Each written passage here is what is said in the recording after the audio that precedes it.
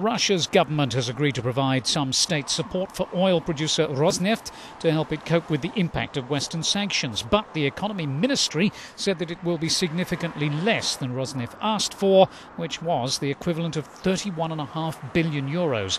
Rosneft's head, Igor Sechin, wanted cash from the National Wealth Fund to make up for what the economy ministry described as a lack of financing from the global markets. The company had borrowed heavily last year to buy Anglo Russian oil firm TNK-BP. Meanwhile, two major state controlled banks are also to get the equivalent of 5 billion euros in government aid. VTB and Rosselkhozbank will get the money in exchange for issuing new shares.